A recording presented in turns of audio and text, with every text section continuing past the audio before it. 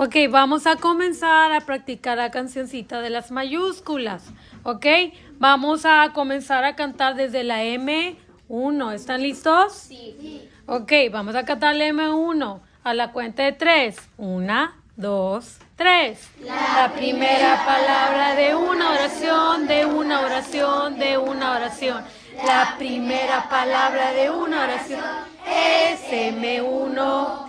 Seguimos con la M2 que habla de las cartas. Acuérdense que esto puede ser una carta, un email, un correo electrónico, ¿verdad? Un mail que llega a la casa. Es lo mismo. Vamos a hacer la, regla M2 a la cuenta de tres. Una, dos, tres. El saludo inicial de una carta, de una carta, de una carta. El saludo inicial de una carta es M2. Vamos con la despedida de la carta M3. Una, dos, tres. La despedida, la palabra de la despedida, de la despedida. La primera palabra de la despedida es M3. Entramos ahora con las abreviaturas. Acuérdense que las abreviaturas son palabras que están hechas, no, ya están hechas. No voy a inventar ninguna palabra que son para hacerlas más cortitas, pero esa tiene que empezar una letra mayúscula. ¿Ok? ¿Estamos listos? Una, dos, tres. Abreviaturas, doctor y doctora, señor y señora, don y doña. Abreviaturas, doctor y doctora, SM4. ¿Ok?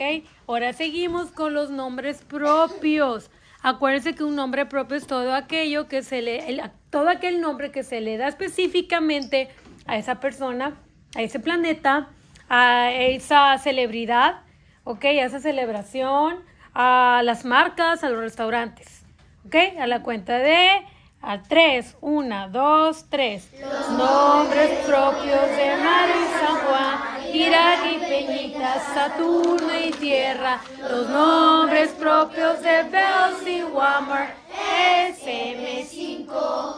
Ok, ahora entramos con todos los títulos. Recuerden que todos los títulos en español se, se lleva la letra mayúscula solamente la primera. Al menos que el medio tenga un nombre propio entonces lleva mayúscula. Acuérdense que en inglés, para los que toman en inglés, en inglés sí es cada una del título, cada palabra del título. En español no. ¿Listos? Una, dos, tres. Los títulos de canciones y libros, canciones y libros, canciones y libros. Los títulos de películas y poemas, SM6. Ahora entramos con los nombres festivos, que las celebraciones, no tu cumpleaños, es algo, es algo que solamente tú celebras.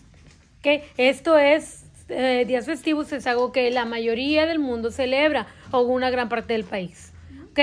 A la cuenta de tres, una, dos, tres. Los nombres festivos de 5 de mayo, Viernes Santo y la Navidad. 4 de julio, SM7. Ok, muy bien. Ahora vamos a cantar, ya cantamos las de las mayúsculas, hicimos el repaso. Ahora vamos a cantar todas las cláusulas dependientes, ¿ok? Vamos a practicar, acuérdense que todo esto es una práctica de gramática. A la cuenta de tres con las abreviaturas. Una, dos, tres. Abre. Son palabras que se usan en cláusulas dependientes. Antes, aunque cuando desde, después, mientras y sí. Cláusulas dependientes. ¿Ok? Bueno, ya que estamos las cláusulas dependientes, acuérdense que después de una cláusula dependiente, cuando inicia una oración, debe llevar después una coma. ¿Qué es lo que debe llevar? Una coma, ¿ok?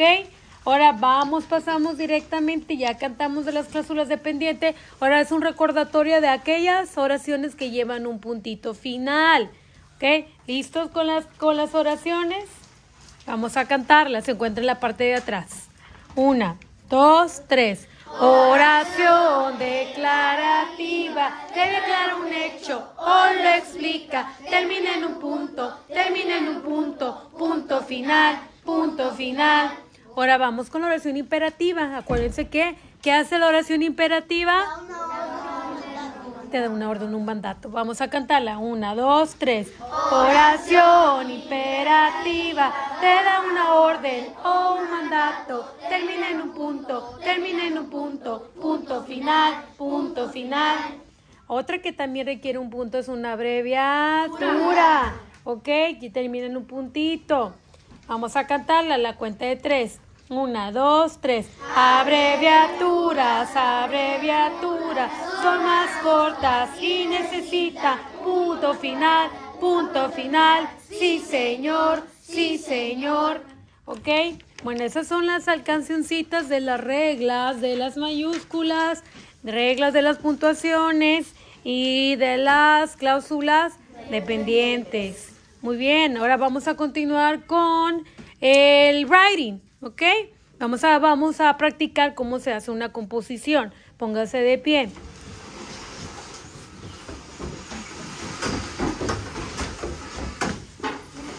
¿Ok? Acuérdense que para hacer la introducción, ¿ok? Para hacer la introducción utilizamos, para hacer nuestro brainstorming utilizamos la arañita, ¿verdad? Y como toda araña, ¿qué es lo que comen las arañas? ¿Qué es lo que atrapan? Moscas, ¿verdad? Entonces el brainstorming que hacemos de la arañita, ok, acuérdense que en medio de la pancita de la araña va el tema, ok, y tenemos que hacernos tres preguntas para poder hacer una buena introducción, ok. Vamos a ver cómo se hace la introducción con las tres preguntas. Una, dos, tres. Otra vez, ¿cómo va? Muy bien, esa es la introducción. Si no tiene esas tres, no es una buena introducción. Eso es lo mínimo que puedo tener. ¿Ok?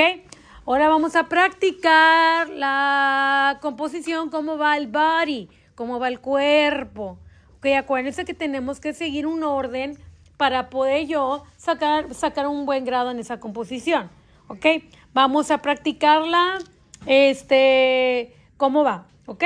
A la cuenta de tres. Una, dos, tres. Tema. Ok, acuérdense que si alguien se equivoca, nos regresamos todos para atrás y otra vez. Ok, vamos a seguir practicando, regresense.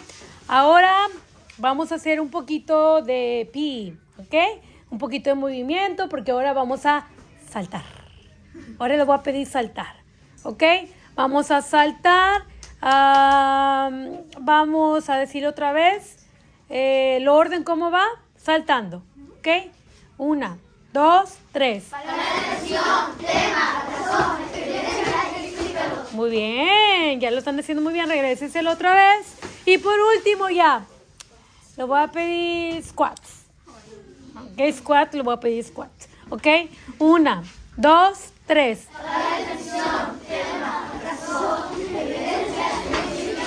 Ok, muy bien, ya se lo saben, regrésese. Oh, espero que estén bien cansados ahora sí. No, que estén bien cansados para que pongan bastante atención y ya no estén ahí moviéndose ni hablando. Ahora sí, ya siéntense.